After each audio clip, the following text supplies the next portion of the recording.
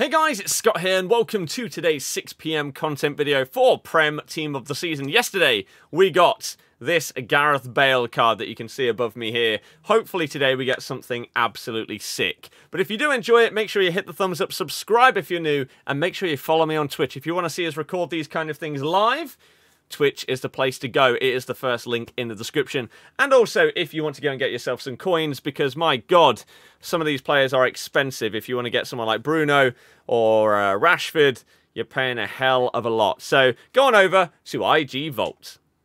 If you're looking to pick up some FUT coins, then head on over to IG Vault. They are doing a 30% discount on all coins throughout Team of the Season. And if you buy some coins, you will be entered into a 30 million FUT coins giveaway. If you use my code Birdie at checkout, you'll get an extra 6% off. So, we have got a few seconds left to go. I've been testing out some of the new Prem Team of the Seasons uh, throughout the Weekend League so far. I think I'm, what, 6 and 1 on PlayStation?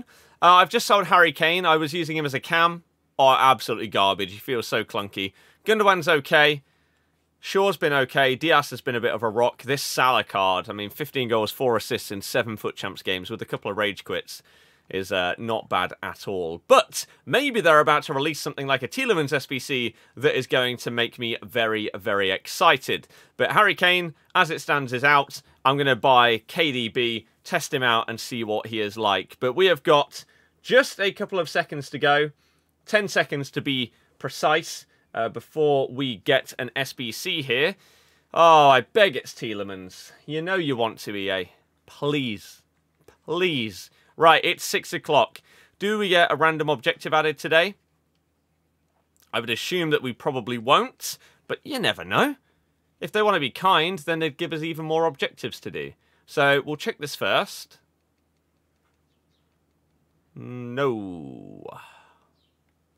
No special player there. Let me just quickly get this. This incredible. How long they spent designing this sketchpad Tifo. Whew. Incredible. I'm so glad I've been able to unlock it. But what we need to look at is SBCs. Obviously, EA are doing a social media blackout, so we have no idea what it is because they don't tweet it out. But here we go. Oh. We get showdown cards. Please tell me we get a team of the season as well. Prem Challenge. Leon Fourth kit. We don't.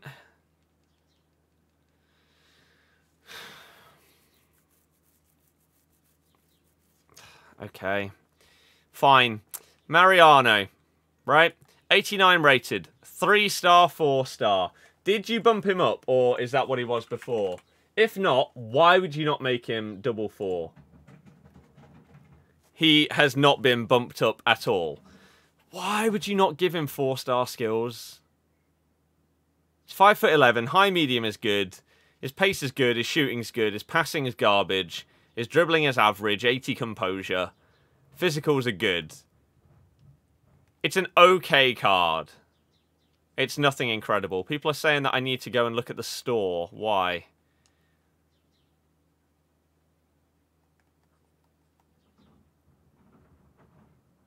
Right. I tell you what. I like this a lot. I really like this. This, to me, is the way that FIFA should be going. Instead of pumping out, of course they release 50k packs, right? Let's let's just open one, just in case. This is the way that FIFA should be going. You shouldn't be able to buy packs with FIFA po with FIFA points or anything like that. There should really, dear God, um, it should be cosmetic stuff. Right? 700 FIFA points for what? Two kits, a stadium, and a TIFO? Again, this to me is definitely the way forward for microtransactions in FIFA. I cannot believe that kits are costing 25,000 coins. That seems a bit mad. But this could be the start of something really, really, really good. And the thing is, people might laugh at it and people might moan that they are doing this. That you can buy kits and stuff with FIFA points. But if this means that you can no longer buy packs with FIFA points, this is the way forward. Again, I've said it for years. This is how you can monetize pro clubs, right? If you put kits and stuff like this into a pro club store that requires FIFA points, that's how you monetize that game mode. And that's how you could push that game mode to be the next level because you'll actually have funding going into it. And if this replaces promo packs, I'm all for it. Yes, they're expensive. In terms of coins, for FIFA points, what's that? 700 FIFA points. A fiver for stadium theme, a tifo, and a couple of kits. Is that a lot? Not really. How much is a Fortnite skin? A few quid? It's basically the same thing, isn't it? I, like, I, I think the reaction to this today is going to be overwhelmingly negative. However, this could be the start of something huge. This could be the end of pay to win FIFA, basically. If this is a tester for going forward into FIFA 22, without the ability to buy packs with points, so you don't get an advantage if you're rich, this would be massive. Yet everyone's going to look at it and say, oh, it's expensive. Rather than thinking about the, the real world implications of what this could mean for the game, I feel like people need to look at the bigger picture. This might be the kind of thing that we look at next year as normal. Cosmetic items are the way that microtransactions in FIFA should be. And whether that is, uh, again, we've said the same ideas for years. Whether it is kits, whether it's stadium themes, whether it's TIFOs, whether it is card types, I guarantee you, if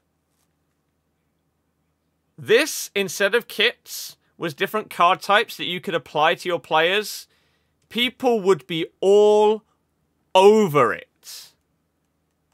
Right?